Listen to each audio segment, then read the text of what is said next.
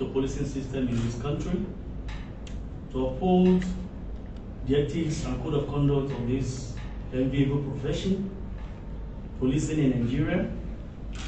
Today, again, we are here to attend to the case of one of one policeman who was caught in the viral video um, on 31st August 2022, where he was um, flogging a Nigerian with machetes.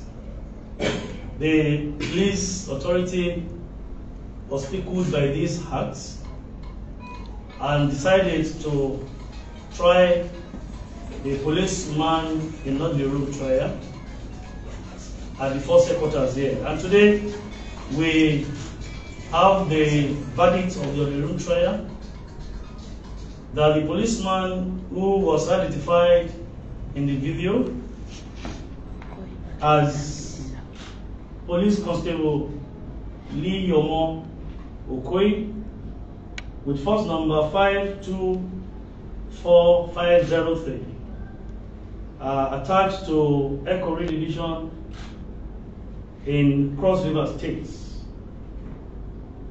Enlisted to the Nigerian Police Force 28 October 2019 as from today has ceased to be a member of the force because he has been dismissed. The force has reviewed the Olerum proceeding and of course in line with the provisions of our Eastern laws. This Mr. Lee Omo Okoye who was dismissed from Nigerian Police Force has nothing to do with Nigerian Police Force as from this moment. We want to state categorically that after this press briefing, we are going to decrypt this man.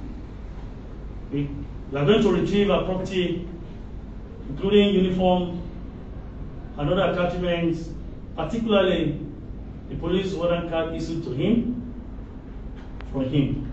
We want to urge members of the public not to relate with him as a member of the Nigerian Police Force from this moment. We still want to state again that the Inspector General Police, IGP Usman Alkali Baba, PSC Daga, NPM, FDC, has retreated his commitment to make sure we have sanity in the Nigerian police force, to make sure we uphold discipline in this job. The Nigerian police force is a civil institution, saddled responsibility of maintenance of law and order, and of course, to make sure we protect people's fundamental human rights. We have not in any way sent any policeman out there to go and harass any Nigerian, to extort, or to engage in any corrupt practices that can malign the standards and values of the Nigerian police force. In that line, the IGP, after the first management meeting of today, Monday, 8th of August 2022, has also directed the AIG in charge of Force Intelligence Bureau, AIG Abu Sani, to take charge of proper supervision of other tactical squads of Nigerian Police Force, including the Intelligence Response Team IRT, Special Tactical Squad, and SWAT, for proper supervision and, of course, to boost their service delivery. So we are trying our best to make sure that we bring back the glory of the Nigerian police force, to bridge the gap between the police and members of the public in this country.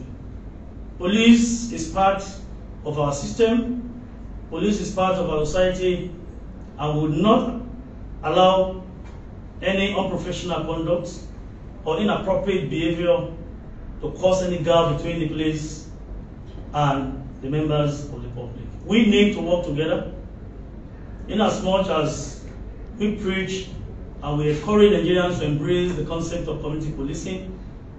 There is no how we will not operate on the same page.